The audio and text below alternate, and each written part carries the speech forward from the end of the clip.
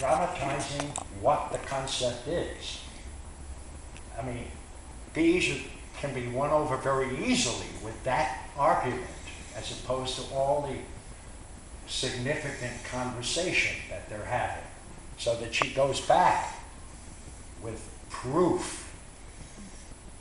At the end of that first act, if that event happens, it opens up a can of peas where Beige now is in, in a position to fight for her, not understanding it. So what the metaphor is, is about art. These people who see color have an edge artistically on the rest of the world and possibly are dangerous as a result.